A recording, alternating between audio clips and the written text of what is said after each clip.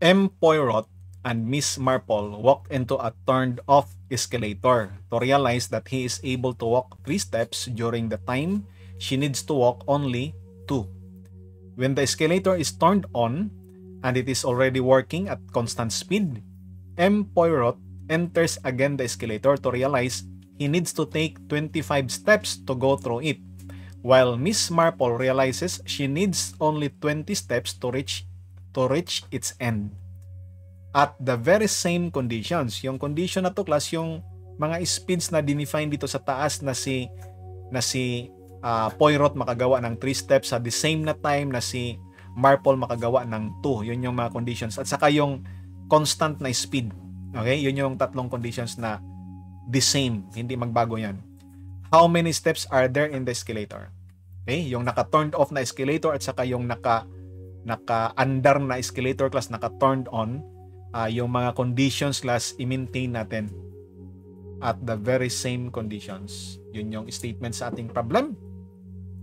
Ilan daw ang baitang, ilang baitang meron ang escalator? Gets niya? Alright?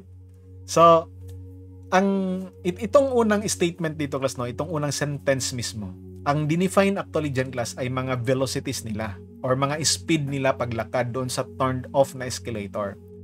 Kasi we are talking about the same na time. Hindi lang binanggit dito class kung ano to na time, kung year ba to or tawag dito or oras ba to or century ba to class. Okay, walang binanggit dito eh. Basta the same na time si M. Poirot makagawa ng 3 steps.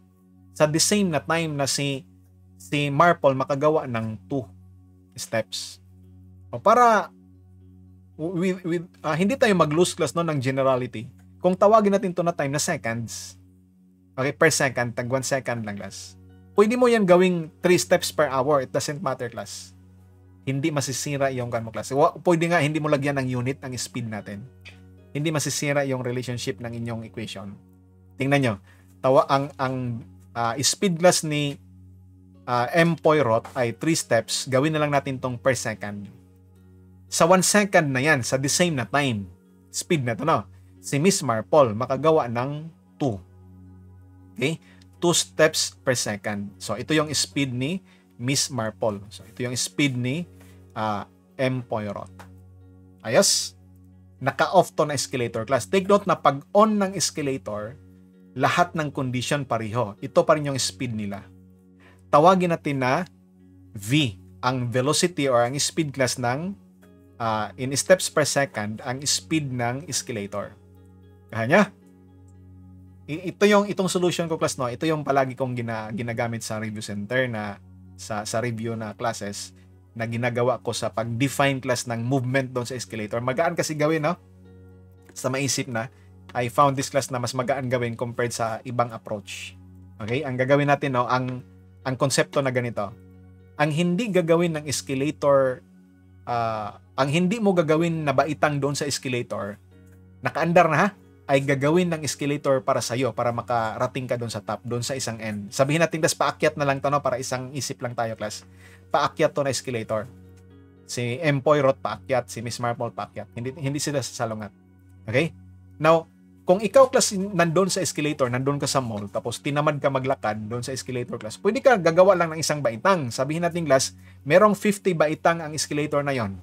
Tatayo ka lang sa isang baitang. Ang ibig sabihin, isang baitang lang ginawa mo ang 45 na natira class, gagawin ng gagawin ng escalator para sa iyo kasi umandar yung escalator eh. Makarating ka doon sa top.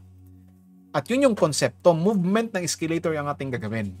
Ha? Movement ng escalator class. Tingnan nyo.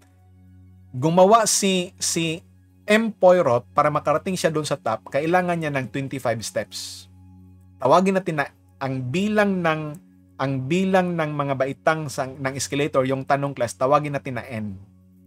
Okay? Ito yung required number of steps on escalator. Ilang ba itang meron? So si M. Poirot gagawa ng 25 steps para makarating siya sa dulo. Di ba? So ibig sabihin, ang hindi niya magawa ay yung N minus 20. Ito yung uh, minus 25. 25 pala to, hindi 20. Okay? Ang hindi niya magawa, class, yung N minus 25 na baitang. Ito yung gagawin ng escalator para sa kanya. So, ito yung magsilbing distance natin. Class, itong n, nagsilbing distance to.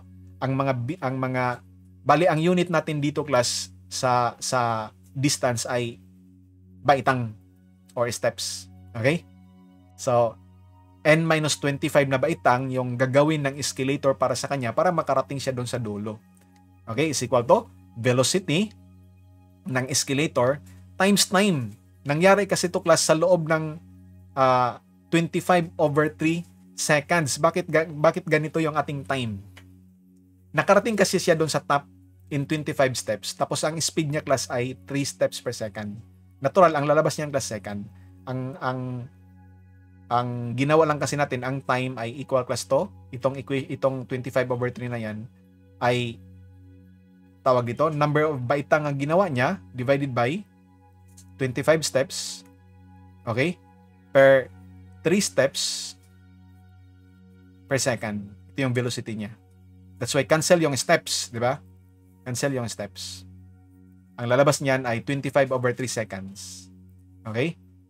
25 over 3. Anong kulay yon? Hindi ko na matrace ang kulay. 25 over 3 seconds. Yun yung nangyari sa equation na yan. So, velocity times time. Or, kung isipin mo na lang class, sabihin natin na gumawa ka ng 10 steps 'di ba? Doon sa escalator. Tapos ang ang bilis ng paghakbang mo ay isang hak, isang baitang bawat segundo. Nung makarating ka doon sa top class nung nung uh, anim na steps, ilang segundo 'yon? Natural 10 divided by 1. Kasi 1 step per second, isang hakbang bawat segundo, nakagawa ka ng tawag dito ng uh, sampung sampung baitang. Okay? 10 divided by 1. Dito class, gumawa siya ng 25 na baitang ang kanyang velocity ay ang kanyang speed ay tatlong baitang bawat segundo. That's why ito yung time number of seconds na karating siya sa top. Tinawag kasi natin na second ang time natin dito. Ayos lang. I-rearrange natin to class. We have this n. Ito i-transpose natin 25 over 3 of v. Tapos ito i-transpose sa right magiging equal to positive 25. That is our equation. Tapos class, tingnan din natin yung condition ni Miss Marpol. Tanggalin ko yung mga nandyan. Si Miss Marple naman class ganito. Ang hindi niya magawa ay gagawin ng escalator para sa kanya. Ang escalator class merong total na baitang na n. So, ang nagawa niya 20. So, ang hindi niya nagawa, ang natira doon ay n minus 20. Ito yung natira. Ginawa to ng escalator para sa kanya. That the reason makarating siya doon sa kabilang end. Okay? So, this is velocity ng escalator times time ng escalator. No, times time pala, makarating siya doon sa top. Ang time na yun class ay number of steps na ginawa niya, tulad ng ginawa natin dito, number of steps divided by yung kanyang velocity, that is equal class to 10. Diba? 20 divided by 2. Number of steps divided by 2. Okay? So, ito yung equation natin. The same na, the same na pag-analyze class. Kasi gumawa siya ng dalawang, dalawang, uh, tawag dito, dalawang baitang bawat, sig- bawat segundo, nakarating siya doon sa top in 20 steps. Ang ibig sabihin yun, nangyari yung class sa 10 segundo lang. I think very clear na yan, no? Kasi ang ating numbers dito, whole ang ating numero dito, whole number. 10 segundo yun mangyari na 20 steps. Kung gagawin niya, dalawang steps bawat segundo. Uh, I think clear na yan. So we have this equation, n minus 10v is equal to positive 20. This is our equation number 1. Equation number 2, solve using your calculator na capable sa two equations to unknowns. Kuha natin yung uh, n. n dito yung ano, na represent ng x sa ating calcio. And that is our answer. Meron tayong 15 na baitang. Alright? 15 na baitang sa ating uh, escalator. So, sinulat ko ba dito yung bilis ng escalator? Wala na, hindi ko na sinulat class. Now, meron tong mas maiksi actually na solution class no. Hindi naman sobrang iksi class. Uh, may uh, ang iba kasi uh, ibang perspective kasi lang, ibang perspective class. I-equate lang natin class yung relative nila na motion ito kasi ito yung ito yung uh, konsepto na palagi kong ginagawa doon sa loob ng review. So sa klase class, okay? Review classes namin. Ang ito talaga yung palagi kong dinideliver. Okay? Which is madali kasi ma-absorb ng mga estudyante. Napansin ko sa talaga to. Oh, meron tayong ibang aspect ng pag-solve ito ganito lang. Okay?